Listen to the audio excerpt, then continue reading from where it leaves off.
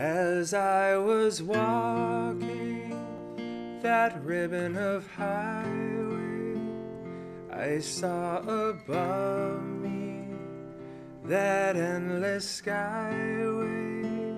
I saw below me that golden valley. This land was made for you and me. This land is yours.